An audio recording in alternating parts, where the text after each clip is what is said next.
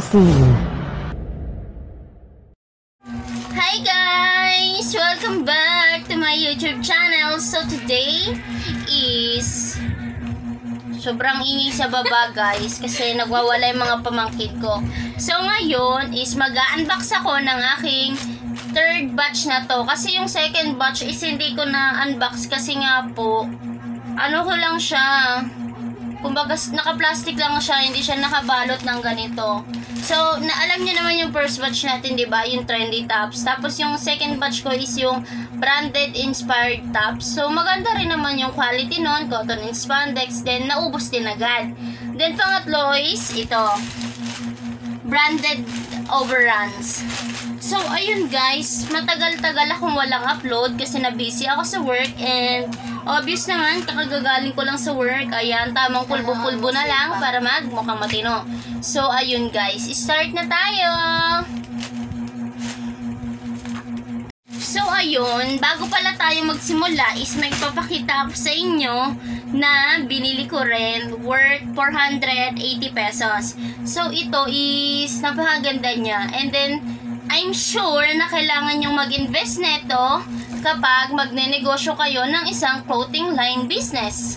So, ano nga ba ito? Ito, abot mga clothes. And then, kasama ko yung aking kapatid here. Ang kasama siya sa K&J Jam Team. O, diba? So, ayun. Bumili ako ng tabletop mannequin. Ayan. Ayan. So, straight lang siya. And then, yan. Ayan, oh. Ang kagandahan nito is maganda yung quality niya. Alam niyo yung hindi siya hindi siya lumulubog pag pinindot mo. Matigas yung plastic niya.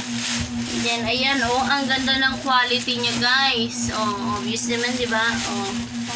So, malaki rin siya. Malaki. Ganyan. Ganyan. Imaginein mo, ito yung kamay kong isa, tapos hanggang dito na yung isa. Isang ganun, no? So, ayun, malaki siya guys, maganda. So, ayan. Pawis niya, ayaw na bumalik. So, alam naman natin na kapag papasok ka, so ayun, wait lang, maingay yung plastic. So, alam naman natin na kapag papasok ka ng isang clothing line business, kailangan mo ng magandang, pa, yung parang magandang i-present sa customer mo yung damit. So, pwede naman yung ginagawa ko dati na nakalay lang sa floor, then lalagyan mo lang siya ng background and etc. etc. Lagyan mo ng bag, kumbaga papartneran mo, ganon. So, ngayon, naisipan kong bumili ng mannequin. So, ayun na nga, simulan na natin mag-unbox. So, ito pala guys is worth 1 1,200. So, ayun, 10 pieces lang po yung in-order ko muna.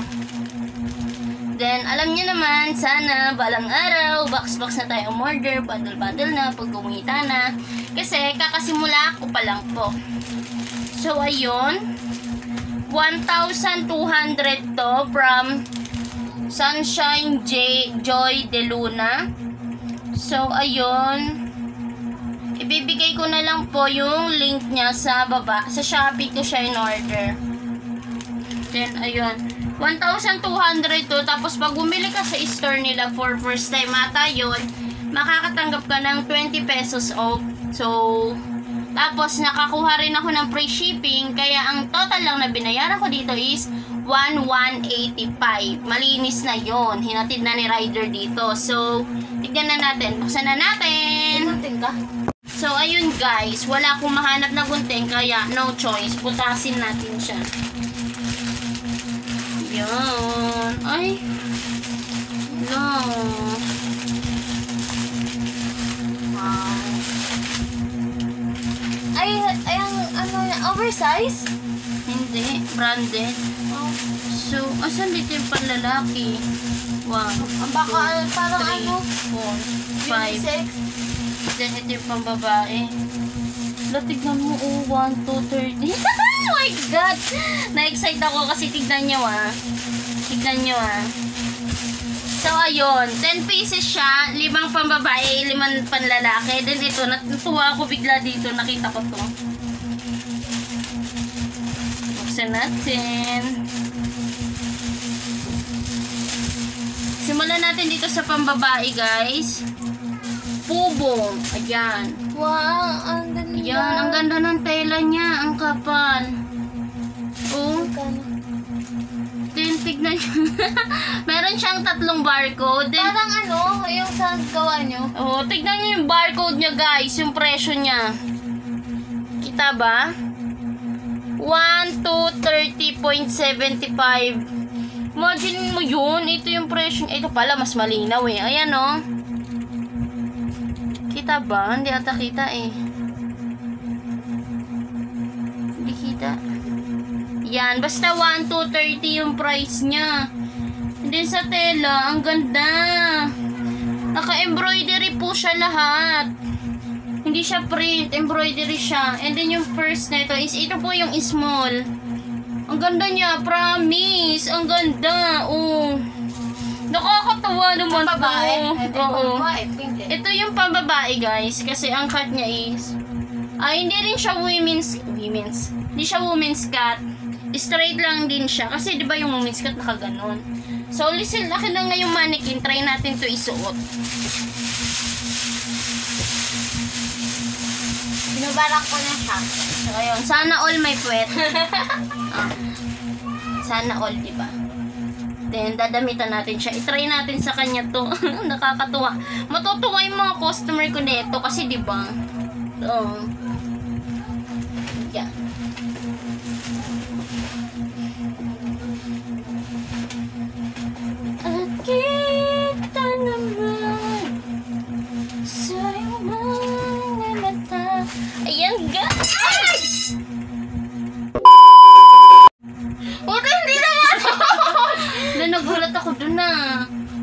So, ayun guys. Ito po yung purse. Bubo! Oh my God! So, ayan guys. Meron na siya. Meron lang siyang maliit na maliit na stain. Dot, dot. Hindi na, dot lang, parang tuldok lang. Hindi naman makita. Ay, hindi. Stain ko pala siya. Hindi pala siya sa tinda. Dumikit to. Oh, nung nagdugo yung kamay ko, nung nagbalat ako ng singkamas, dumikit. Ah, oo. Ah, okay. Lalaban ko naman Hanggat to. siya. Kaya alcohol na lang. So, ito po yung first. Pubo. Maganda siya, guys. Then, yung presyo na nasa tag is 1,230. Oh, diba? Halatang branded. Sana all branded. 1,230 yung nasa price. Oh, diba? Panis-panis. Pero, pwede mo siyang ibenta ng 150. Mm. Sa, ang gagawin ko kasi, guys, Mura na lang. 150 ko siya ibibenta ang pambabae. Magkano? 1,230. Tapos one, uh, ano, laking ano na, baba na, Oh, brand, mo. brand, uh, branded, Oh. branded, di ba? Then next is Natutuwa ako kasi ang ganda rin ng mga kulay niya. Alam niyo yun? Meron ding ito guys, oh. May maroon? Walay. Mustard. Lo, naka-embroidery siya lahat. Walang print. Nakakatuwa naman. Ay, ito, 1,265. Nakat ako sa mga barcode niya, oh, kasi may presyo. Ito, oh. Di, di na sila lumaki. 1,265 pesos. Oh, ayan, ang ganda. Oh, ito naman yung medium. Medium. Tommy Hillfire. Babasa dito. Ano babasa dito? Ito, Hillfire. Hillfire. Hillfire. Basta ganon. Basta ganon. ang ganda niya. And then sa quality ng tela, ang ganda, ang kapal. Cotton. Siguro 100% cotton to. Naka-embroidery lahat. Ang ganda, promise. And then, natu- natuwa talaga ako kasi nga may presyo siya. Eh, Siyempre, mapapag... Alam mo yun, ano rin yun, parang advantage yun. Sabihin mo sa customer mo, oh ito, ito yung original price nito, pero ibebenta ko na lang ng ganyan. Ba? For sure, uulit ako ng order neto next. O, selo. Dito yan, Tommy Hellfire Jeans. Ay, Then ano, next. may, may nakalagay sa ano niya? Oo, plastic. Ang ganda. Baliktad naman to. Chill, oo. Oh. Ayusin ko na lang. Naka-plastic ka na lang dyan. Then, ito pa guys. Nakakatuwa. Oh my God. Mabibenta ko to. Dapat pala nag-ano na ako 20 pieces. Kasi pag ganito kasi guys, pag order kayo sa Shopee na bagong order nyo pa lang, wag agad-agad maramihan. Yan ha. Kumbaga, susubok ka muna. Okay? Kasi malay mo tsaka, o di ba tapos meron kang 20 pieces o mahirapan ka ibenta, kaya magsimula ka muna sa Tip 101 by Kaysel. Then ito, ala, nakakatuwa. Ang ganda pa ng barcode niya. Then ito na, oh my God. 999 pesos po yung nasa tag niya. 999 pesos itong Macbeth. Macbeth, Macbeth. Ano bang tawag dito? Oh, Macbeth nga. Oh. Ang ganda, ang kapal ng tela niya. Oh, ang ganda, promise. For sure talaga, mabibenta ko to ng maganda, ng mahal. Excited na ako ibenta to. Wait lang. I-chat ko. so, so ayun, natatawa lang kami kasi may, may nag, nag-chat si mama. So, sabi ni mama kay papa, break na kami. Kala mo teenager eh, no? Oh. Yan na, oh. Next, Mr. Lee is stylistic. Mr. Lee is stylistic. Yan, ito, gawa namin to dun sa pabrikang pinapasukan ko. Wala, embroidery din siya. Ano ba yan? Nakakatuwa naman tong mga to. Oh. Embroidery. Kaso hindi pa siya, ay hindi, may nasama lang na sinulit. So, ang price naman nito is 1,465. Ang nasa barcode niya is 1,465. Ang ganda! Ang ganda. Uulit talaga ako sa store na to, promise. Then, ang size niya is large. So, napansin ko lang, lima yung size ng pangbabae. Kompleto siya. Small, medium, large, XL, tapos large uli. Tama ba? Ikaw na magtupi. Then, dito naman tayo guys sa panlalaki. Sa panlalaki is, first item is Louis Vuitton. Ah, Louis Vuitton! Louis Vuitton! Aw, yung Oo. ano? Louis Vuitton. Ay, ito maganda. Ay, hindi. Ito ata, pambabae pa rin. Ka. Pambabae pala to. Asan yung isang panlalaki? Maybe ito? O Ito. Asan ang panlalaki dyan? Ito. Ano ba nakasulat? Ito kasi unisex to eh. Ano ba nakasulat? Wala. Alam ko unisex tong ganito eh. Ah, baka nga unisex. So, first is itong Louis Vuitton. Ang nasa barcode niya is 1149.75. Then, mustard ata ang color niya. Pambabae rin siguro to. Ah, Oo nga, pambabae nga to guys. Then, ayun. Embroidery pa rin siya and then parang meron siyang botones dito na maliit ang design. Ang ganda, ang ganda ng quality, makapal ang tela. So, ayun guys, yun lang ang tip ko sa inyo. Pag first time kayong order sa isang store, huwag agad-agad maramihan. Yung, yung bultuhan agad. No, no, no, no. Kasi, hindi natin, hindi mo pa sigurado yung quality ng tinda nila. So, ito, first time ko kasi umorder sa shop na to. Kaya, ayun, hindi ko agad-agad ni lahat. 10 pieces lang po ang in-order ko. 5 for ladies and 5 for men's. Pero feeling ko naman yung isa is assorted. Ay, anong tawag doon? Assorted. Unisex. Bubu. The next Yan, is din ata. Parang unisex din yung white. Halos lahat parang. Hollister. Slim Fit, California. The next is ito, Hollister. Oh. Baliktad ata. Eh, yung una atang pinakita ko, yun yung pambabae. Kasi lahat to may ano na eh. May curve na. So, baliktad guys. Ito pala yung pambabae. Tapos yung nauna, yung panlalaki. Hindi. Yung So, ayun. Yan. Oh, Mr. Lee- ay, Mr. Lee. Hol- Hollister. Then, ang price niya po sa barcode is 1,265.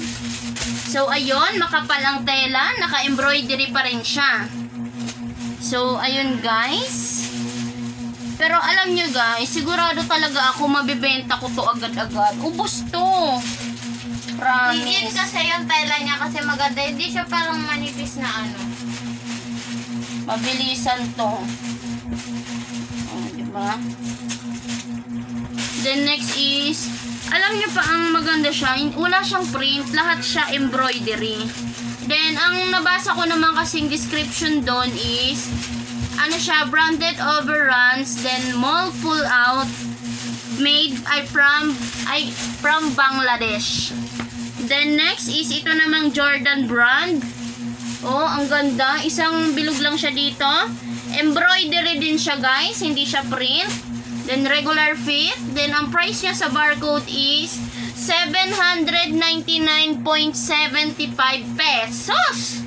'Di ba? Mamahalin pero bibenta ko lang to ng mga 180. Oh. San ka pa? Ang ganda ng tela, ang kapal. And Makapal siya guys, makapal ang tela, 100% cotton. Karan. So ayun, bago natin tapusin to, make sure na nakasubscribe ka na sa aking channel and pindutin mo na rin yung bell para updated ka tuwing nag-upload ako ng bagong video. So, ayun guys. Then, kung, kung may time lang naman kayo, i-visit nyo na rin po ang aking Facebook page, K and Jam Boutique, and Kazel Tomasina. Dalawa yung Facebook page ko. Kasi po, yung isa is ginagamit ko pang online selling. Then, yung isa is for my vlog na pagluluto. Siyempre, do- don't forget to like. Don't forget to like and comment to this video dahil magpapag-giveaway ako ng mga trendy tops. Gusto mo yun? Gusto ko yun. So, ayun guys. Magpapag-giveaway ako ng trendy tops. Ay, ate. Basta i-comment lang kayo dyan. Then, random picking tayo. Parang mas maganda to. Mas makapal ang tela nito guys. Under Armour naman ang pangalan niya. Regular fit.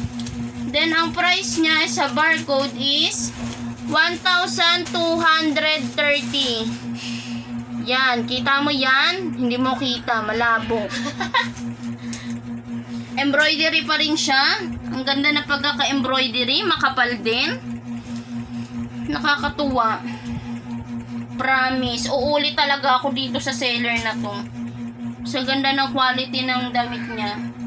Ito yung magandang seller. Ta- tapos pala, napaka-responsive niya. Kasi alam mo naman, ako kasi yung tipo ng buyer na tanong ng tanong. Tanong ako ng tanong sa kanya, ay pwede po ba pa- pa-check kung may ano? damage? Pa, pa- ano po kung makapal po pa? Ano po ba size niyan? Pasend po ng picture na isend sa inyo sa akin. Natuwa lang din ako kasi napaka-responsive niya. Hindi siya nang sisin. Nare-replyan niya yung dami kong tanong. Kasi syempre, tanong talaga ako ng tanong para sigurado ako sa bibilin ko. Ah, itong Converse. Converse. Kapal ng tela nyo guys. Converse. Panlalaki to. Baka random din nila. 499 pesos po yung nasa barcode niya. So, ayan. Ang ganda. Size is large. Yon. Then, pay na natin. Then, parang yung iba parang ano sa ano yun, no? The next is jug jug denim. Then ito na.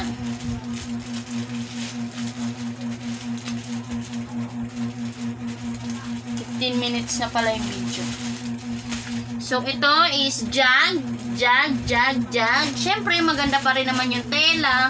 May barcode and 499 pesos din po yung nasa barcode niya. So embroidery pa rin. So, overall is nagustuhan ko po. Nagustuhan ko talaga sa design, sa color, sa kainan tela, tapos yung barcode niya. Then, ayun, gustong gusto ko talaga siya, promise. So, ayun. Dito ko natatapusin ang video to. Maraming salamat sa inyong panonood. So, uulitin ko po, please like, share, and subscribe to my YouTube channel and pakiclick na rin po ng bell para updated ka pag nag-upload ako ng bagong video. Thank you for watching. Bye! So, ayun guys. Sorry po. May pahabol lang ako. Sorry na talaga. so, ang bili ko dito is 1185. Then, yung pambabae is plano kong ibenta ng 150 pesos. And then, limang piraso yon So, 150 pesos times 5. Wait lang. One. Ay, mali. Tagal naman. 750. 750 pesos. Then, yung panlalaki naman is 180 pesos times 5. Times five. 900. 900. 900 pesos. So, 750 750. plus 900, 900. Mali. 1,650. 1,650. Then, iles mo yung 1,185 na puhunan. Ah, one- 1,960, di ba? Minus 1,185. 1,185. Oh, 25 lang. Tubo. 25. 25, ano ba yan? Oh, 750 plus 900. 1,650 minus 1,185. 400 mali yung compute ko. So, yun guys, tumubo tayo ng 465. mali yung compute Tama ba? ko. 150 times 5, 750. 180 times 5, 900. 750 plus 900, 1650 minus 1185. Tumubo tayo 400. ng 465. O, di ba? So, ayun, kontento na ako dun guys. Kayo nang bahala kung gusto nyo taasan yung presyo or babaan. So, yun lang. Bye!